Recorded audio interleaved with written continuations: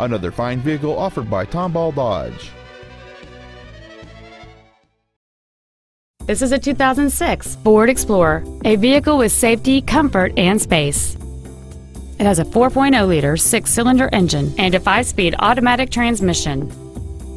Its top features include a sunroof, a leather interior, cruise control, an auto-dimming rearview mirror, a low tire pressure indicator, a stability control system, and this vehicle's stylish design always looks great. This Ford has had only one owner, and it qualifies for the Carfax buyback guarantee. Call or visit us right now and arrange your test drive today.